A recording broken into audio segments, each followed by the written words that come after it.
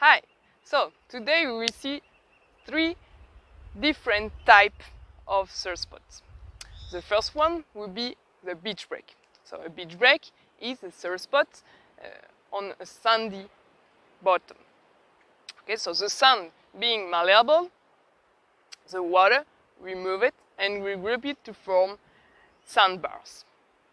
So when the wave, when the ond, the swell is coming, it will hurt against the sandbar and start breaking, making a wave. Okay, you can have several sandbars along the beach, and so different wave to surf along the beach.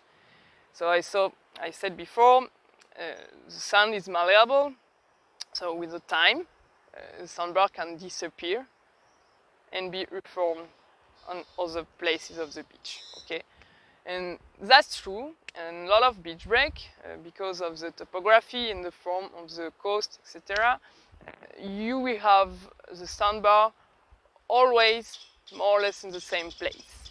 Okay, it will be pretty stable. But when when you have big storm and really big wave, it can change everything. That's true that we consider beach break as the ideal type of surf spot to learn how to surf, okay? Uh, because it's smoother. That means, for example, if you fall and you hurt the bottom, it's sand, so it's not so hard to, the, the wiper will not be so hard than on a rock, okay? And the sand will absorb a little bit of the energy of the wave when she's breaking. So we have a smoother wave than if it was rock. Okay? But be careful. Be careful. Not the, all the beach break are perfect to learn how to surf.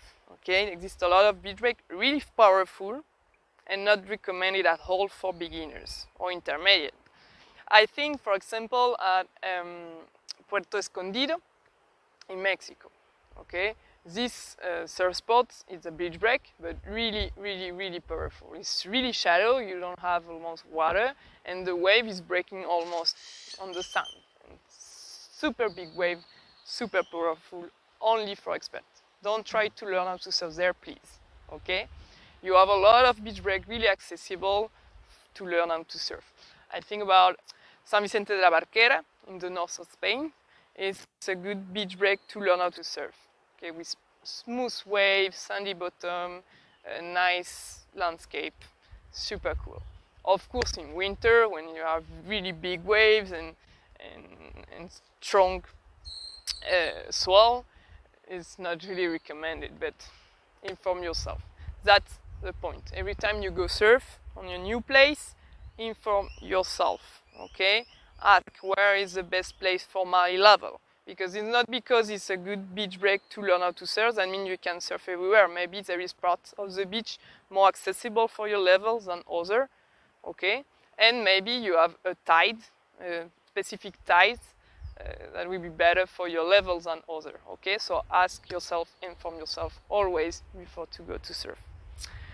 Second type of uh, surf spot, the reef break. So the reef break is a surf spot with a reef bottom. It can be reef, it can be rock, or it can be coral. Okay? So this type of bottom will not move with the time. Huh? It will stay always on the same place. That means that the wave will break always on the same place. Of course, uh, she can start breaking a little bit more here, a little bit more here in function of the orientation of the swell and the size of the swell. Okay, it will not be always on exactly on the centimeter in the same place, but it will be more or less on the same zone.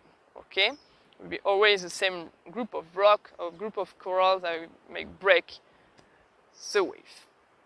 And uh, the reef or the, the rock or the coral will not absorb the energy of the wave at all. So we have wave really powerful and it will break with all its strength. So generally, reef breaks are surf spot really strong, really powerful, and not recommended for beginners to learn how to surf. Okay, but it exists. Eh? I already gave some uh, lessons on reef break with a smooth wave and enough uh, water to don't be afraid to touch the bottom okay uh, but generally they are really strong an example of reef break will be Teahupo'o in Tahiti a really famous wave. I'm sure you already saw some picture. It's a monster of wave breaking on coral. Uh, it's only for expert only expert surfer can go surfing there. Because the wipeout there is really impressive too. Uh, like it's not really good to see, not really like blood everywhere. It's not super cool. another example of reef break would be just here behind me, uh, La Punta, Santa Catalina, Panama. Really good uh, reef break. It can be accessible for intermediate people uh, when the conditions are smooth and only for advanced when the conditions are strong. Okay, so as always, inform yourself if you go surfing on a reef, where is the channel to go out to surf, where you can go out to come back to the land. Ask, inform yourself, okay, to avoid to hurt the reef, because that's the, princ the principal danger on a reef break. And the last um, type of surf spot will be the point break. So the point break is a surf spot where the wave will start breaking on a specific point. It can be a stretch of land or rocky point, okay? This always on a specific point.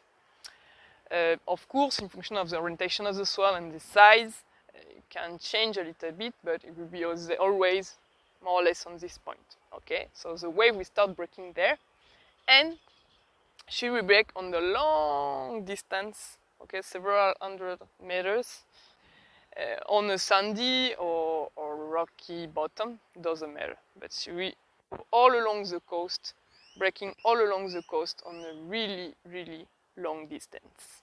So a point can be more or less difficult with the wave more or less powerful, more or less, more or less accessible. Uh, an example of point break, really famous, be a super tube in uh, Jeffreys Bay, the uh, South Africa. Uh, this wave is really fast, really powerful, breaking on the rocky bottom and is only recommended for experts, okay? Don't try to learn how to surf there, please. It's really dangerous. Another surf spot, uh, another point break more accessible will be Malibu in California. I'm sure you hear about it too. Uh, this pond, yeah, is more soft, okay? It's really smooth wave and all the surfers there are surfing with really big board, with long board, because the wave is super smooth, so you have time to do everything. And so there, yeah, you can go surfing there, but be careful because there is a lot of people there generally. It's hard to find a, a, time with really few people. Uh, so I hope you will enjoy these three type of surf spots. You will be able to try to surf all these surf spots at least once in your life. And I see you on the next video.